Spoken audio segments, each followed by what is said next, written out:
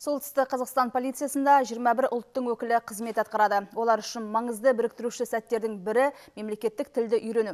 Петропавл полициясының қызметкері Ксения Ищенко Қазақстан халқының бірлігі күніне арналған халық бірлігі ұлы күш әдеби музыкалық композициясы аясында сөз сөйледі. Іс-шара Сәбит Мұқанов атындағы Солтүстік Қазақстан облыстық әмбебап ғылыми кітапханасы ұйымдастырылды. Оған сондай-ақ әкімдік пен Қазақстан халқы ассамблеясының өкілдері, құқықтық тәртіп сақшылары, қала тұрғындары, оқушылар қатысты. Полиция майоры Ксения Ищенко учаскелік полиция инспекторлар бөлімшесінің бастығы лауазымында қызмет атқарады. Оның қазақ ұлты туыстары бар. Бала кезінен қазақ тілінің дыбыстары оған жақын болды. Алайда ол есейген кезде тілді үйренуге бекінген.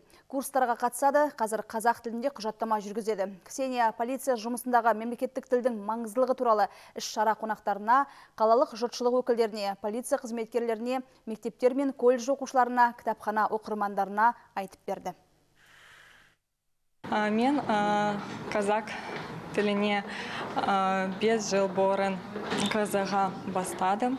Қазақша жазылған кітаптарды оқып, қазақ әндерін жатай бастадым. Қазақ тілімен танысым осылай басталды. Тіл мемлекеттің негізі. Мемлекеттік тілді білу Қазақстан әрбір азаматының борышы.